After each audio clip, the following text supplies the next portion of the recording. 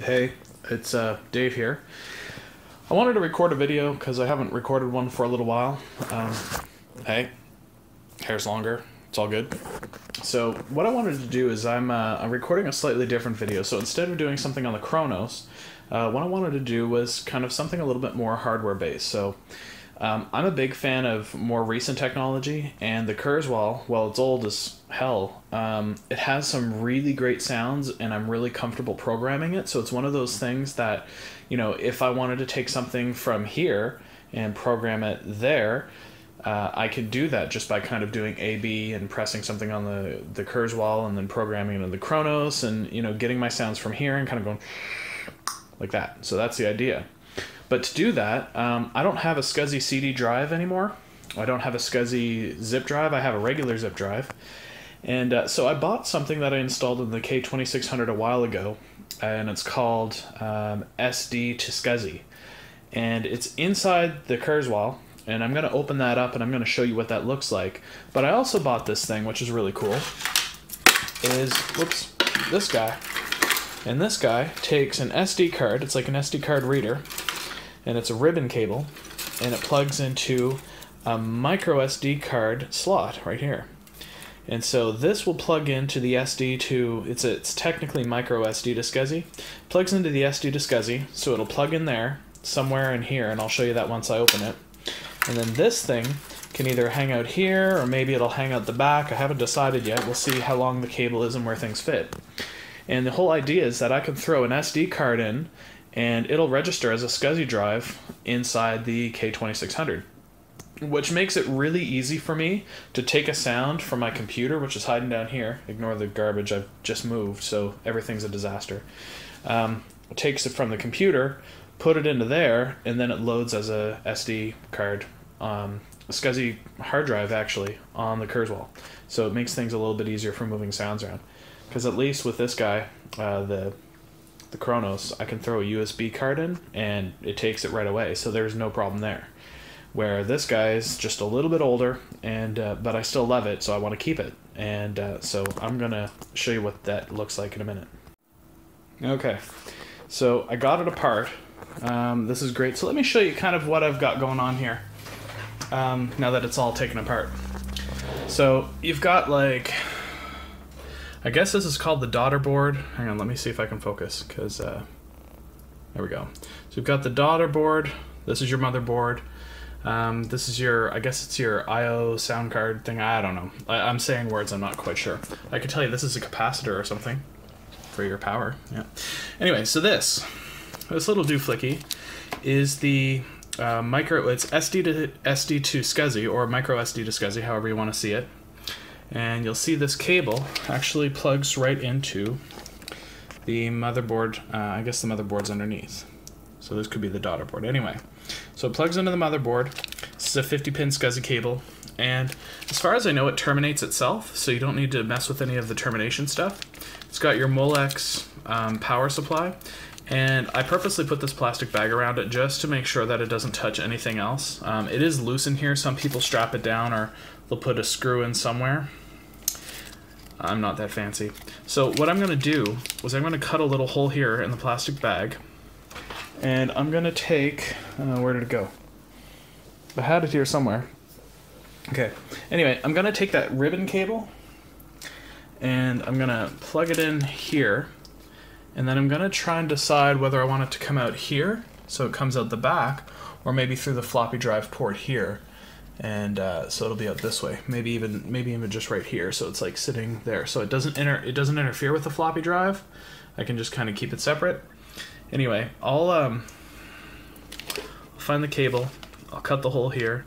And uh, we'll see we'll see what happens afterwards and see if it works. All right so here's what I ended up what I ended up doing was um, this cable wasn't quite long enough so I cut the hole in the bag uh, as you can see here. So I cut the hole in the bag. I used the ribbon cable and went straight out the back. It wasn't long enough to reach here, which is my original idea.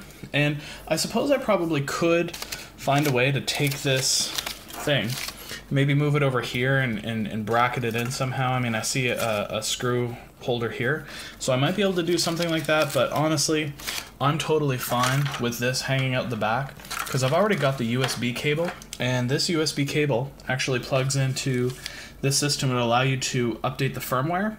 So um, I'm okay with the USB cable being where it is as well as the uh, ribbon cable for the SD card to be coming out the back as well. So I'm totally fine with that.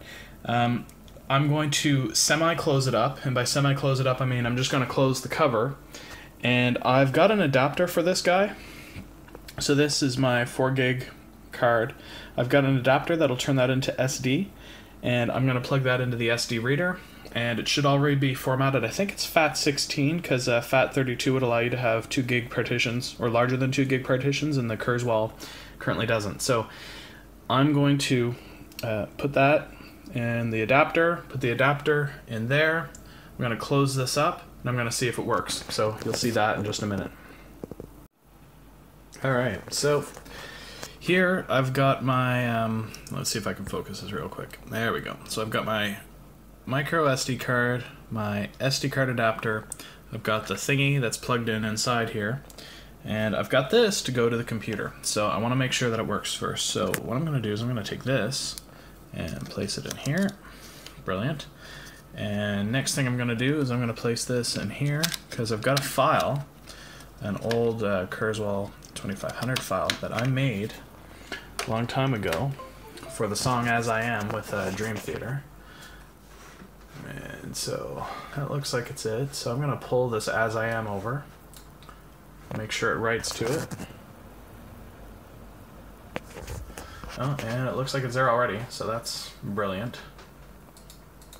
Let's close that. Take this. We're going to take this and just put it here and take this out. I'm gonna plug this bad boy in here. Oops. This is hard to do one-handed. Ah, don't be that way. Uh, despite my best efforts, it is continuing to be that way, so let me... Okay, hang on a second. I know, you're looking at black, I'm sorry. One of these days I'll invest in a stand. Okay, so this is plugged in. Well, let's get this out of the way. And we're going to make sure this works. So, Kurzweil is booting up, and I know I need to replace the battery. That's okay. It'll tell me there's a voltage warning here. Yeah, that's, that's okay. I have to fix that. Okay, so let's go into disk mode. And it looks like, see I've got two partitions, one and two. So let me see if I can hit load here. Oh, didn't like it. Okay, so hang on. Helps if I click it. Uh, let's try it again. Aha, there we go. So here's As I Am. That's the sound that I made. So I'm going to load that. And we'll load it into the 400 and we'll overwrite it because uh, cause I don't care what's there right now. I just had a couple of test things there. So As I Am, it's loading the samples and everything. Alright, and let's go to 400. Oy, it's hard to see here. There we go. So, go into setup mode and 400.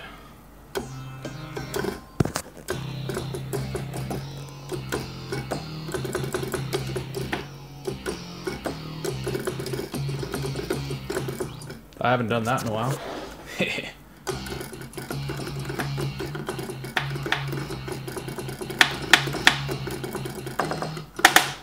okay. I, I actually forget kind of how the song goes, but.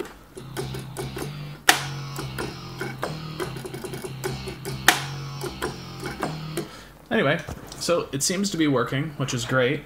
Um, and so when I click like this, and I go to uh, disk mode, here we go. You can see uh, if I try and load anything, it just says problem mounting disk. So when I plug this in, and uh, I go back to disk mode and I go load, then it loads. So that's awesome. So yeah, a quick video. Um, now I have to put my Kurzweil back together because I still got the end caps off. They're sitting on the floor.